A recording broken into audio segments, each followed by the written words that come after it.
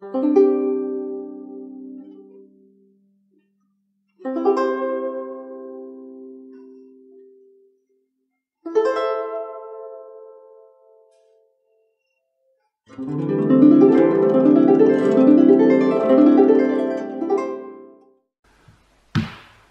合掌。南无本师释迦牟尼佛。南无本师释迦牟尼佛。南无本师释迦牟尼佛。别谢多经难得闻。经语无量具之节，读诵受持亦如是。如说修行者更难。序言八几篇，各位法师、各位同学，大家阿弥陀佛。好，请翻开讲义。看一百九十四页，啊，一百九十四页。你们如果没有讲义的，你们要下载那个，啊，那手机就要关静音了哈。好，那这里呢，我们上次呢讲到这个第二 文具易缺。文具一缺，那你要找一绝。看第三行里面，就是它有律文，文具就是律文句足。那义理呢缺少，就是你读这个律文呢有怀疑，啊，就这个意思呢是怎么样呢？那个有点怀疑，譬如说，所以我们前面讲过，譬如说，绿如绿，道四方生物泛滥，前面讲的，几率上说你偷盗啊，四方生物就是十方的生物了，那只犯中品的罪。啊，你把那个寺庙的东西呢，啊。那个电视机啦，一或是什么东西呢？啊，那个功德箱啊，全部都拿走了。啊，那这个是 这个是常住物。那如果是四方生物，是指你在吃饭的时候，啊，或是在分亡人物的时候，他打板，他打板的时候，四方的人来都有份。所以就变成四方，就十方的生物。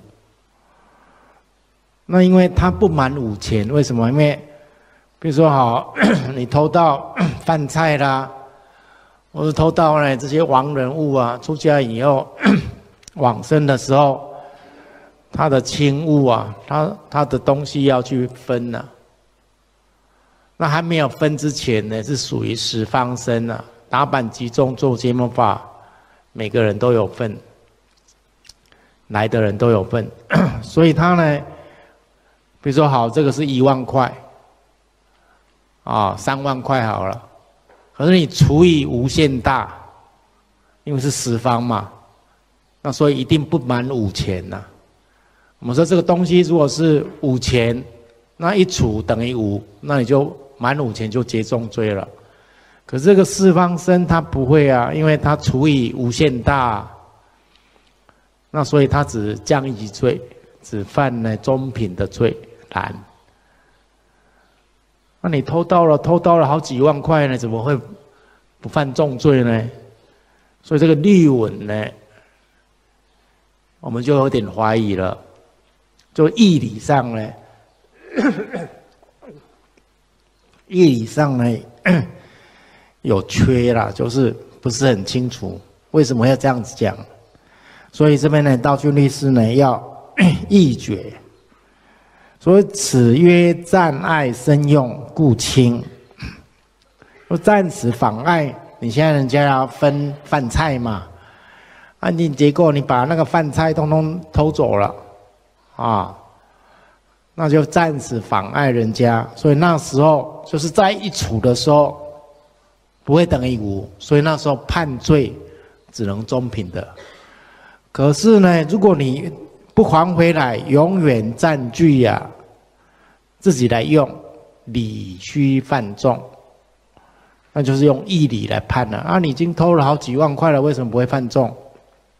啊，所以这个是指你偷 偷走了以后，偷走了以后呢，你那个东西是价值几万块的啊，几千块的啊。那就犯重了，因为满五千就结重罪了，所以这里边就是呢，道训律师啊，要用义理再来判啊。第二，又云啊，知二三人所共作法，成贼助难。那这个前面我们也讲过了，就是呢。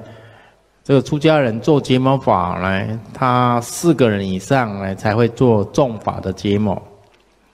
那你不能够去偷听啊啊，否则就是会 变成贼助难。所谓做结魔法呢，就是出家人在诵戒啦，结魔就是一种开会啊，啊，开会做了决定啊。好像三读通过一样，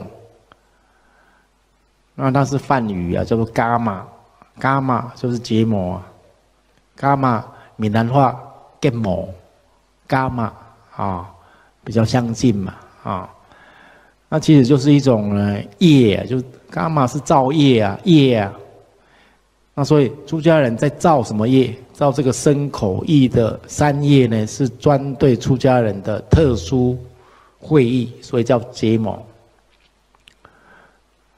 为什么不叫开会？你若讲开会，我们大家都懂为什么他要叫结盟？因为他开会的方式、条件，还有他的那个方法跟世间的开会不一样。那这个是要学习的啊，所以叫做结盟，就是出家人那个开会很特殊。跟一般人、跟一般外面的开会不一样，他三读通过也很特殊，啊，这个呢，所以要特别专 那专门讲才知道啊。但是那个出家人的开会的结魔法呢，啊，在家人就是世间人如果能够学到呢，啊，那就不会太多纷争了。因为这是佛制的一个开会的一个很特别的一个方式，啊，那这个要要要要等到你们出家了就知道了，等到你们呢当了比丘比丘尼就知道了，啊，是非常特殊的一个开会方式。这个开方式呢非常有智慧，啊，不管是选举也是一样，出家人会选举啊，可能他选举呢。他非常有智慧在选的，啊，不像一般呢，啊，世间人呢，他乱选一通啊，或者乱反对一通啊，啊，那所以这个就是很特殊的，那所以你不能够去偷听啊。如果是四个人以上开会，那个是很正式的，啊，一般送戒结膜啦，或是他他讲到他做结膜的时候呢。啊，或者他受大戒结膜啦，他受大戒啦，好像很特殊的那个情况跟你讲，哎，我们要做结膜法的时候，在家居士就不要去听了。结果这个人去听，可是那个是二三人，所以在律律上他讲一句说二三人共做法，那你去偷听也成为贼助难。哎，不是四个人才叫结魔吗？也就正式的结魔是四个人以上，怎么二三个人会犯到这么重的罪呢？贼助难，你在家居士，你若偷听结魔话了，以后不能出家了啊！这需要注意了啊！沙弥也是一样，说你看呢，沙弥呢在送戒的时候呢，送比丘戒啊，就叫沙弥出去了，因为他会做结魔法。哦，沙弥呢也不能听的，哦。那这里应该是四个人呢，怎么二三人呢会犯这个道听解谋呢？所以下面就决定了，说绝允就是义绝，用义理来判断。这个义绝哦，就是有跟那个律文有相关的，是不是义理跟道理是差不多的，是一样的？可是为什么这边会讲义绝，前面有时候会讲理绝啊？理绝是没有律文的，义绝是有律文的，啊，后面会再重复讲啊。所以道宣律师呢，他就用义理呢来判决。他说啊，此曰众法对手而言呢，啊，啊众法就刚才讲，我说众法结盟，出家人的 众法众戒律里面的众四个人才众，但是一般经典哦，一般我们讲众，你看那个众呢是三个人嘛，三个人就成众了。哦，你们简写，你们都是写三个人嘛，对不对？但是在戒律里面是四个人才承重，他做节目法要四个，不是三个。那一般我们讲的是三个人就承重，但是戒律里面它特殊，它要四个人才叫重法结盟。那他又讲对手，所以他这边是指呢重法对手而言呐，啊，就是啊打板击重呢来了两三个人而已，啊，这是比较特殊的。再看第三，所以这样 道理来解释它。第三，又得受布萨钱，这个在嗯 四分律呢 捐啊，那那这个里面又写写说呢，又可以接受布萨。就是人家送戒的时候，人家会供养钱。嗯，这里又有疑问了。因为四分律就是说，我们出家人呢，啊，那以前是托钵乞食啊，或是古代的社会，他是不拿钱的。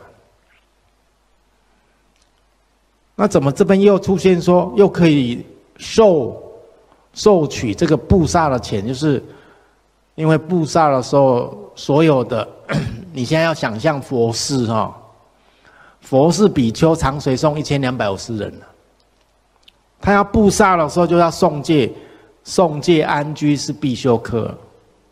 那送戒的时候半月半月呢，那印度呢各地方的人他就要走路走路，他就要到佛陀啦的地方来送戒啊。假设以后结大戒了不来。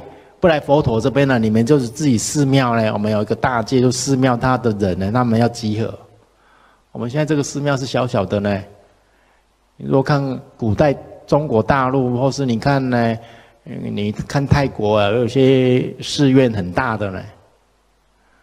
这个我们呢，内地呢，大陆的那个寺院呢，以前呢，这个要开山门呢，要骑马去开山门呐。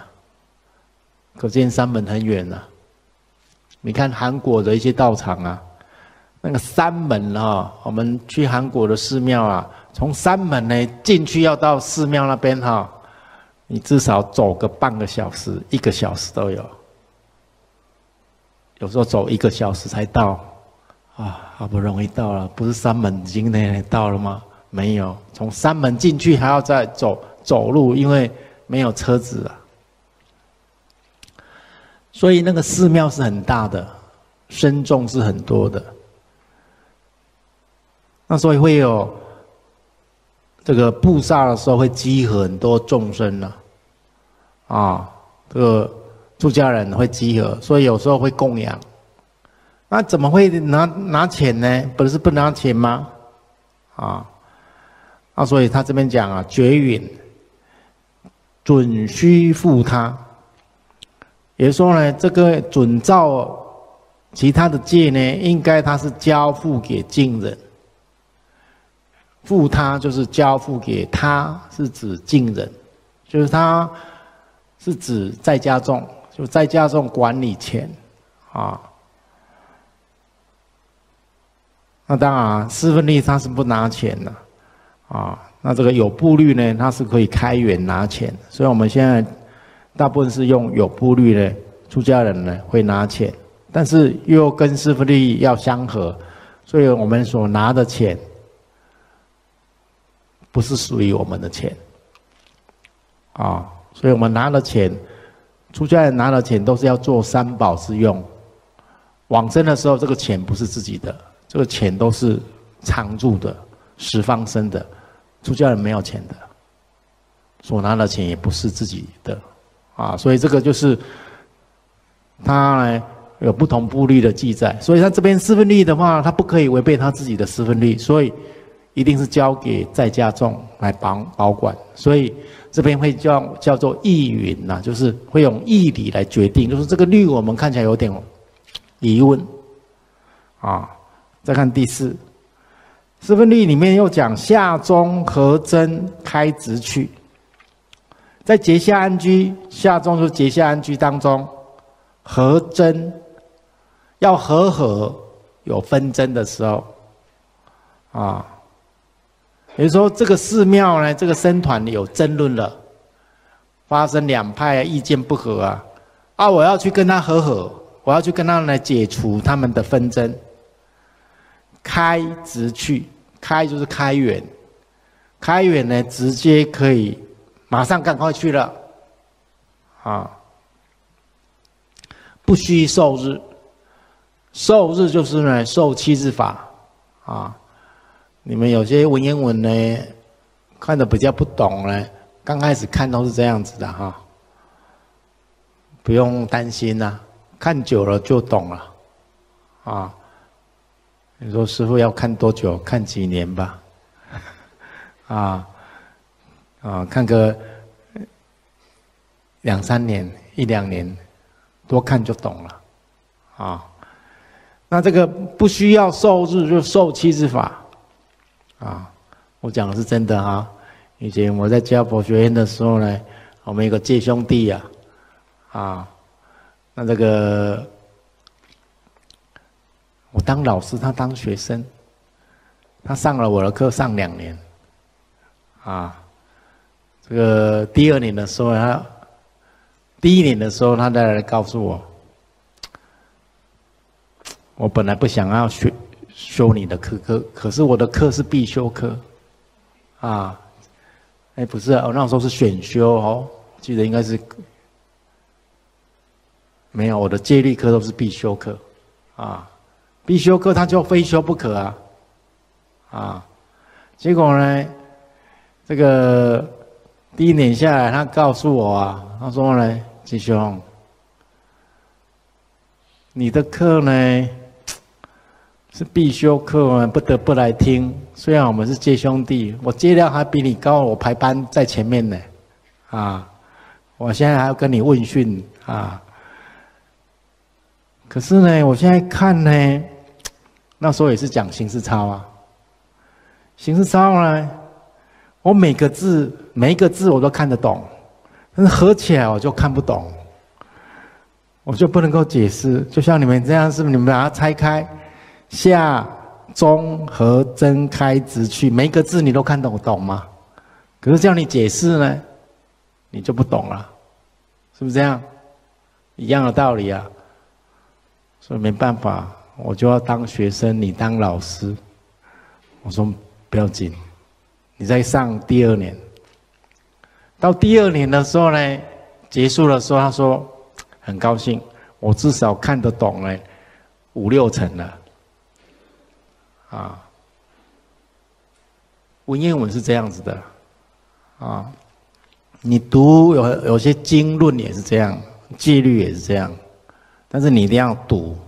啊，一定要多读。所以这边呢，我们结下安居，我们要离开，应该要请假，要做七日法，要一个规定的一个法。出家人他要行住坐卧，他都有很多规规矩的。我们现在在结下安居啊，啊，我现在我今年第二个结下安居啊，我在台中结过一次下，现在到。啊，新西兰又再结一次下，啊，我现在结明年的，我这个结下结到明年去啊。那我要出门过夜，应该要请七日法，才可以出门过夜。结果他说你要出去要帮人家和身，就是要和争呐，和和争论的时候不需要受，不是出门要受七日法吗？为什么又说不需要？好看下面绝饮，绝饮就是要决断。要用义理来决断。他说：“约远而受，就是约那个事远呐，来受日。受是什么？受日，就是约那个事远。如果很急呀，我说你很急的时候呢，你没有请假就赶快出去了。我说忘记请假了，忘记做对说法了，那这样是有开源的，但是呢，不伤大礼等。”也说约远而受是约这个事远呢？你如果还有时间，不会那么赶吧？那你还是会请假做七日法，再去别的僧团呢，再去帮他来处理他的纠纷呢？就像我们呢，比如说呢，你临时呢生病了，倒地了，心脏发作了，或什么病啊，肚子痛啊，啊痛死了，赶快叫救护车啊！他都昏迷了，他都哇哇叫了，他做什么七字法？命难犯恨难呢？他不可能做七字法了，就马上送医院了。有些呢，你生病的人没有关系啊，可是照顾你的人呢，他也忘记做七日法了。这是这种事情都有会发生的。他还赶快赶快赶快出出去了，哎哇，出去了到医院过夜的时候。法师忘记做七日法了，我到加护病房来了，怎么办了？怎么办了？没有人了，说没有人就好了，就好好睡觉就好了，啊，不用做了，因为这些都是呢急事，所以如果很急的时候，当然就不做急事法。但是约这个事缘呢，你还有时间，还宽泛的远的时候，而受就是你也可以受七日法，那这样呢？不伤大礼等，所以这个是约那个事缘来看的，啊，所以就是要把它义理决断啊，就是他那有些律文呢，我们会比较看起来有疑问呢，啊，所以你要用义理再来解释。所以道君律师就是在做这个工作，或是我们有时候呢研究，我现在在讲戒律哦，等一下我讲经论给你听，你啊也是一样这个道理哦。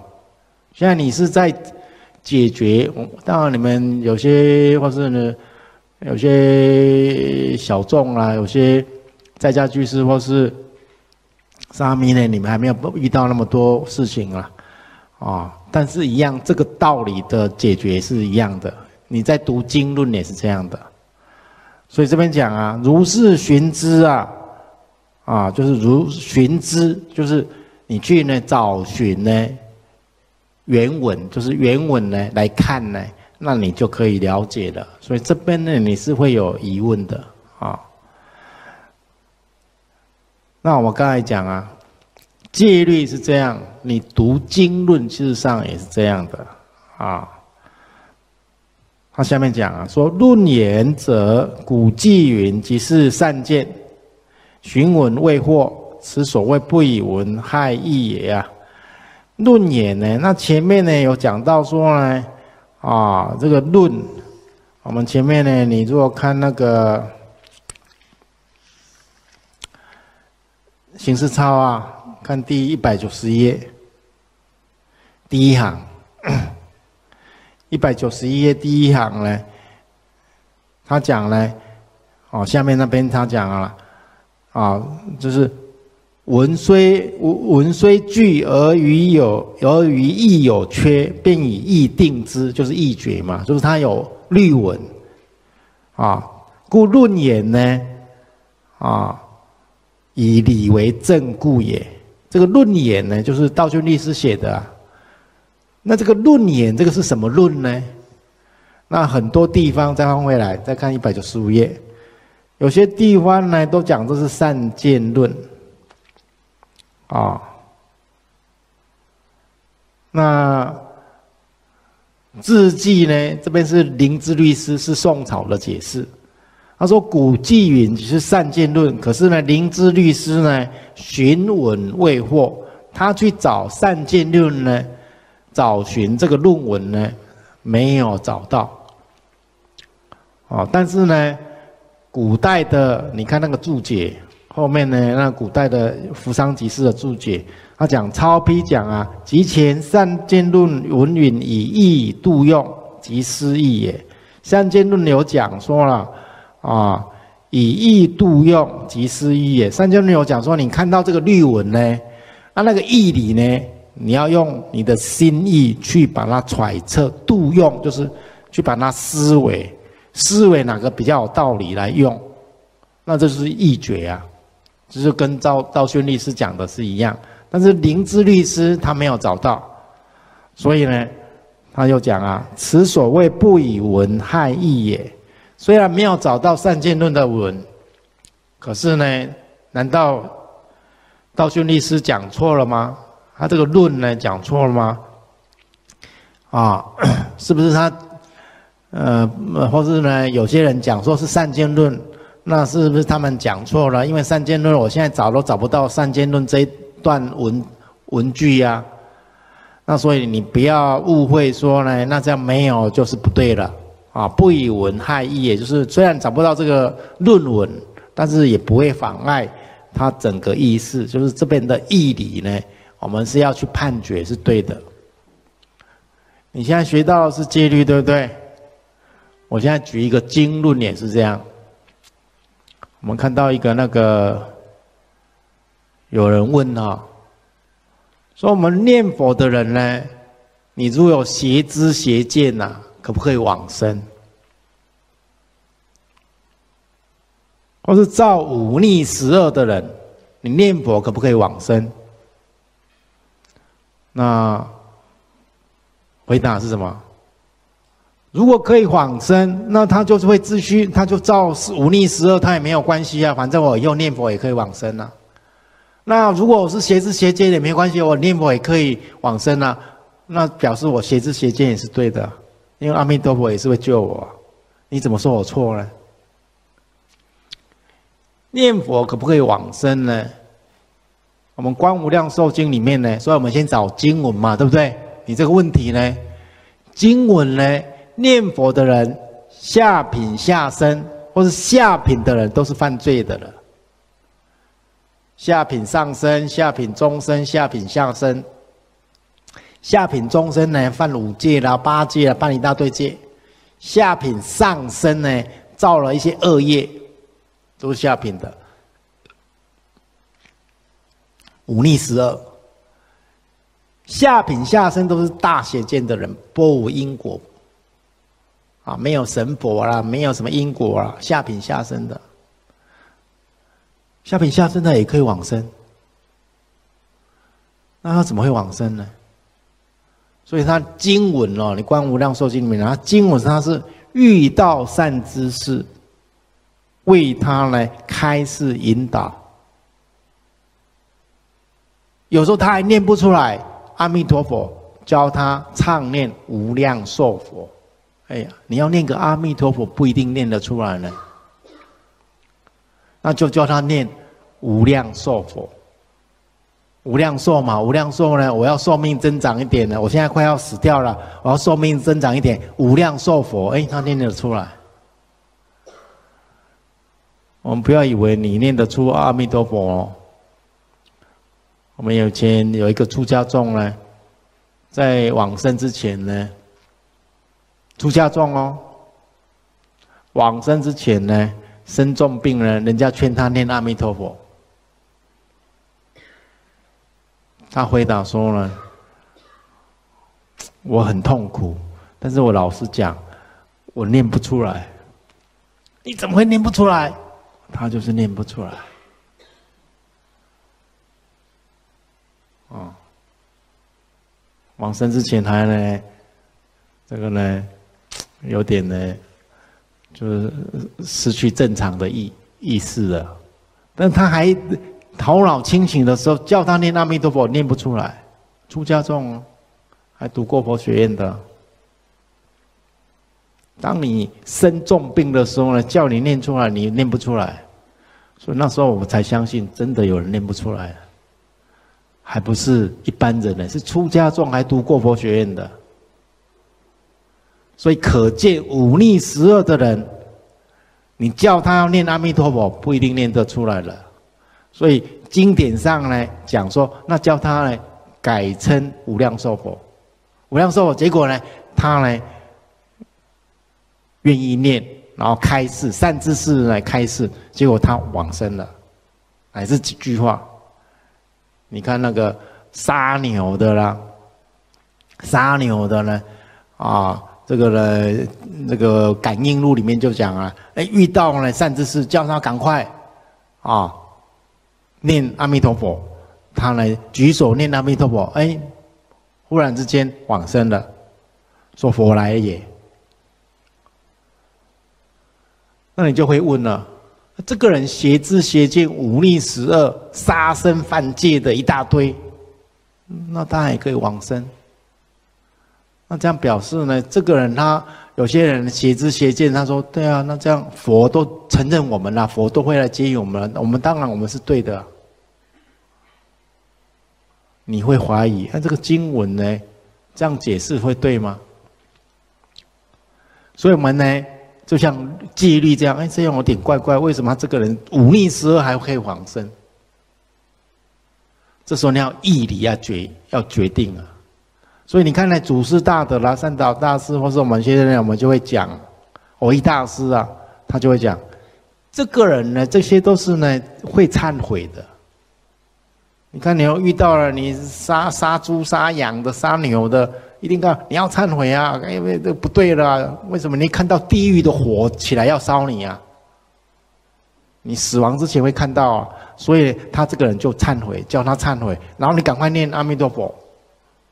哦，他痛哭流涕忏悔，所以我一大师讲啊，无悔法门就是我们要忏悔我们过去所造的恶业，那这个是通一切的法门。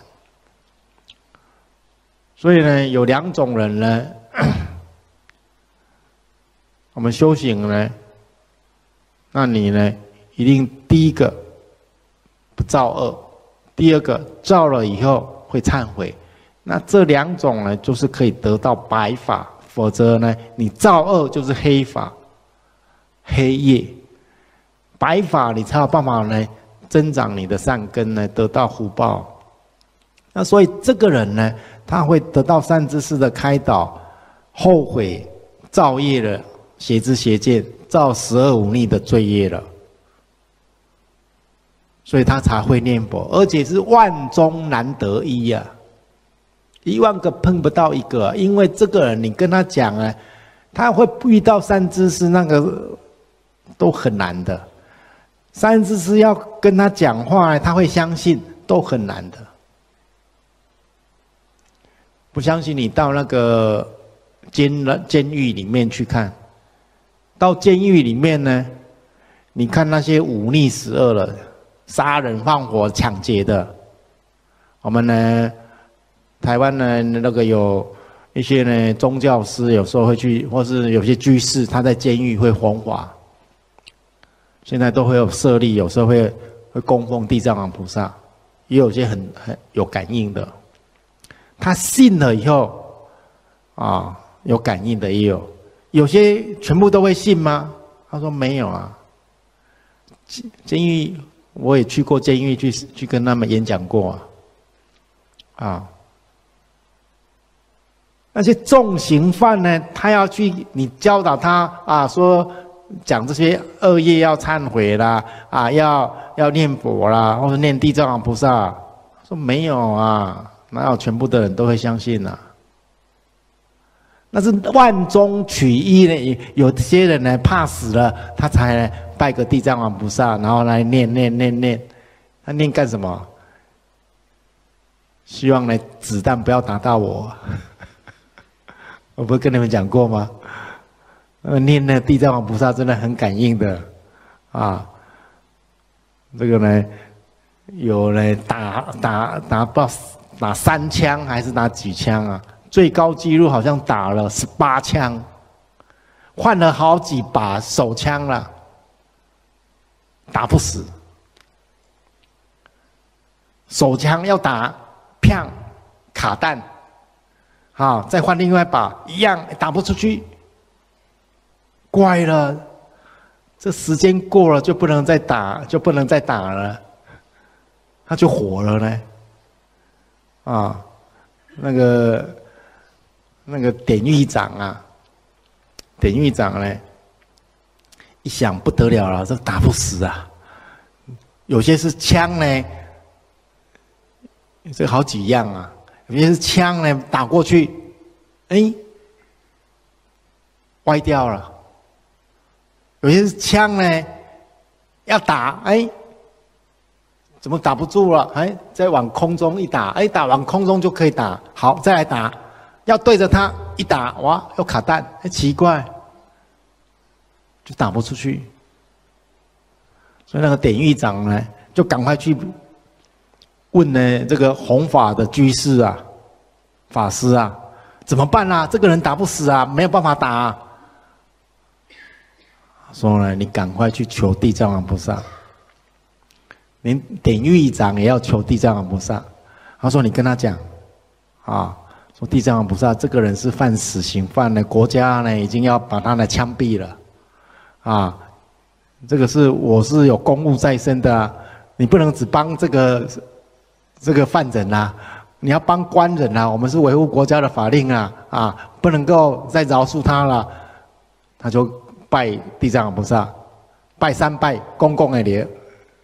以后呢，好，那个射击手再拿出来，砰一枪就死掉了。就是死刑犯呐，他能够信佛的。原因有些呢，他想要免罪啊，啊，免罪呢，当然他会忏悔了，啊，但是还是有那个善根呢，遇到了恰好人家在逢华，可是不是每个人都相信呢，所以你要用义理再来判决说这个经文讲这个意思呢，好像跟我们造业，那你造恶业了，你邪知邪见了。那你都没有关系啊，我只要念阿弥陀佛就好了。那我继续造恶业吧。错了，造恶业不一定会碰到善知识的，而且你不一定会相信的。你造恶业，有些造恶业呢，突然呢，你看了，突然被雷公打死啊，你还还念什么佛？还遇到什么善知识？突然呢，掉落什么呢？坑洞里面去啊？你看古代不是都这样吗？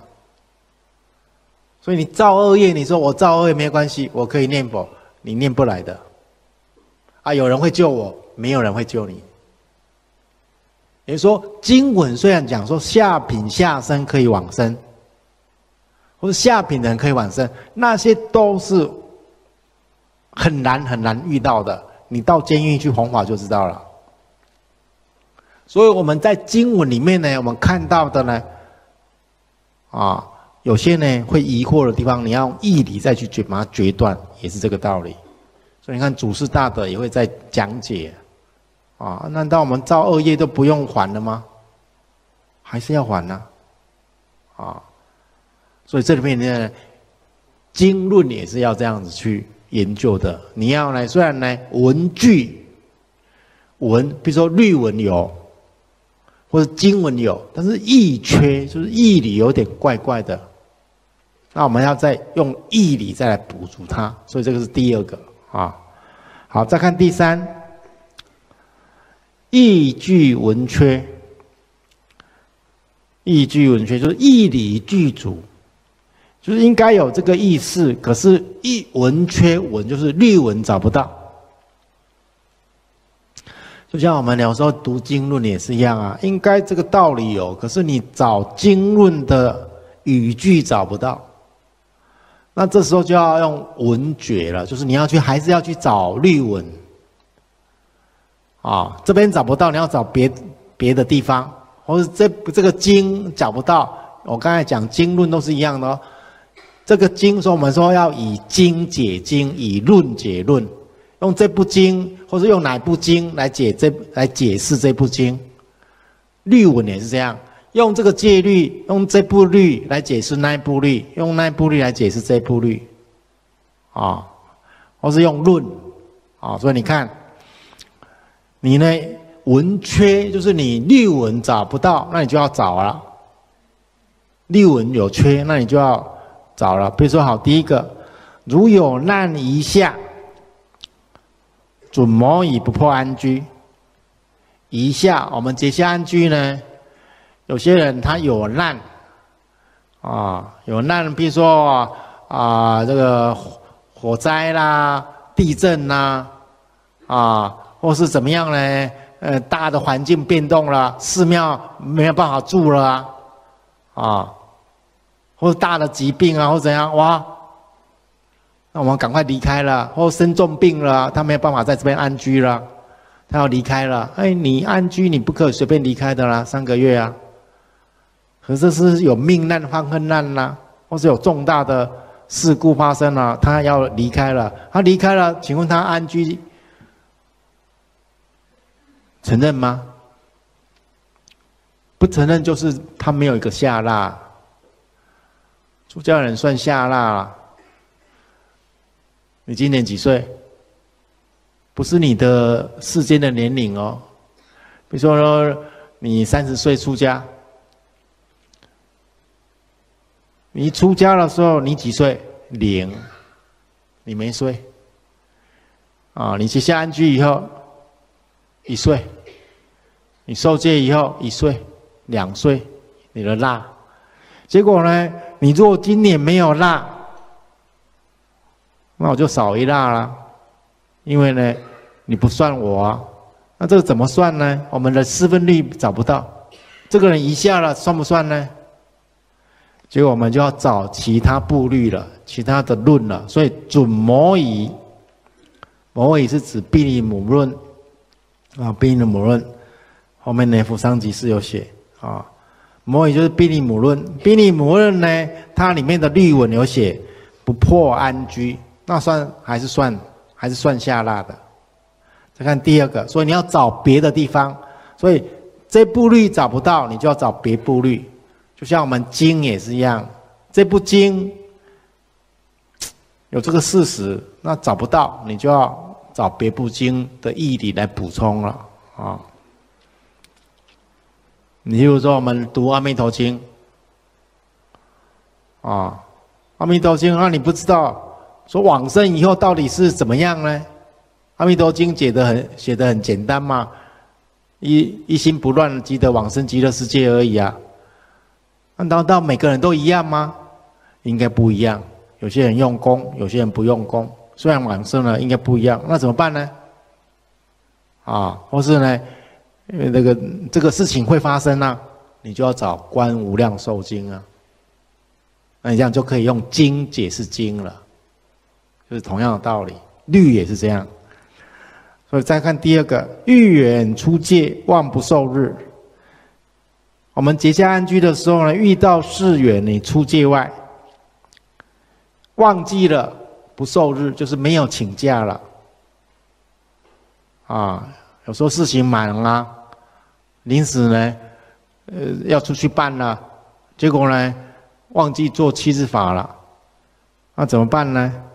你赶回来，有时候也没办法赶回来了，啊，那引五百问义理，那我们四分力没有写啊，四分力没有讲讲说那怎么办呢？啊，他不是不愿意做，是真的是忙到忘了。那引五百问，一即回者得。好，你看那个后面扶桑集是第四个，他写啊，夏中望不受七日出戒行，一即回者得，就是你如果回忆起来后悔了，有些就说呢，你后悔，你可以赶回来，你就赶回来，没有办法赶回来了啊，那那一个结下单居当中不要超过三次。啊，不要上过三次，所以换句话说呢，那我们呢忏悔啊，忏悔就是，那你这个不对啊，那个小罪这样就可以了啊，那这个是没有破破相啊，所以这个也就是要找五百问，找五百问呢来解决，啊，我们四分力没有记载的啊，所以你这边有这个义理，应该这个人他不是故意不请假的啦，啊，他临死或是怎么样事情呢，没办法的，啊，也没办法赶回来了，那所以这里呢义理上呢是应该可以宽缓一点的，啊，就像呢你前面不是呃讲那个夏中。和真开直去吗？也有开远的，可以直接去的，不用请假吗？你前面不是有讲过吗？啊，你要解决人家的纷争，也不用请假，马上就可以去了。他也没有做七十法啊，啊，他也不是故意的，那我也不是故意的，我真的是，哦，临时忘记了，或者忙的那太多事情了，那这个也可以开源的啊。好，第三。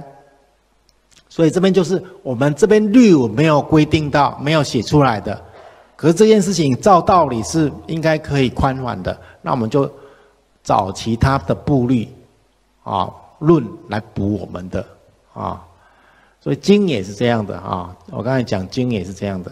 第三，又四分呢不明重受日法，四分律里面呢没有说明，不明就是没有说明呢重受日法。什么叫重受日法呢？受日就是请假。你看后面那个《扶桑集释》第五，抄第十二页呢，四十十二卷是十二页，他讲从受者习解以下之中开于三法。所以以前的人解释啊，一个结相当中呢，只开元。三个法，你可以请三次假而已。第一次七日法就请七天，第二次半月法请十五天，第三次一月法请三十天。差此不成，就是你如果违背这个规定啊，只能请三次哦，那这样就不成就请假法。可是呢，行事抄他讲啊，抄第十二卷呢是十四页，他讲。五百问云，受七日法呢？啊，受七日刑，你看一百九十六页，不满七日还本戒后更行，不须更受。你呢，请假七天，还没有到第七天，比如说第第三天你就回来了，后更醒，后来又要再出去了，因为这件事情还没有办完呢，你临时回来。同样一件事情哦，不能不同哦，要同样一件事情。哎，恰好你回来，那你要再去呢？五百问说你不用再请假了，因为你那件事情就是七天嘛。那你到第七天以后呢？满七日已，乃复重受。你若七天结束了，你当然会回来，对不对？回来以后，你说还有事情还要再办，又可以再重受。所以明了论讲中啊，说得受，那疏解云啊，前请七日事了还至本界内，第八日更请七日出界数。所以他请七日发七日假呢，他事情结束了以后，回到我们寺庙来，回到了以后呢，他要再请假呢，他隔天第八天他又出去了，他又再请七日法，所以。请假不是只有一次，你现在讲说请七日法只能一次，没有啊？你看人家呢，明了论呐，五百问呐，请几次都没有关系的。所以重受、重新再请假呢，四分律没有规定。那所以呢，道训律师他引五百问跟明了问呢来决断他。啊，好，我们时间到，下课啊。